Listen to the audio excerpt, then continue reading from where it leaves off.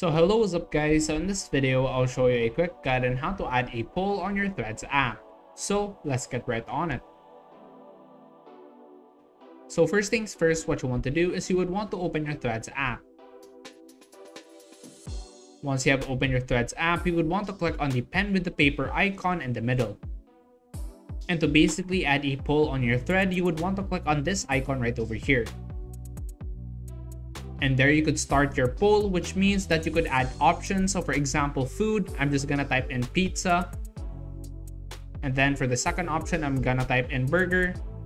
And if you also want to add another option, you could also do so. And basically, we're just gonna add a question above.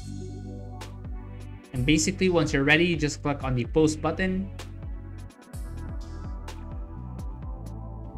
And if we go to your profile, and as you can see right here, we have now added a poll on our Threads app. But however, it actually expires after 24 hours, so make sure you're aware of that. And that's basically it.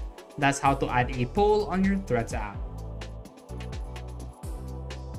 Thanks for watching and I hope you enjoyed this video and found the information useful to you. If so, please give me a thumbs up and subscribe to the channel. It will help me a lot. Thanks again.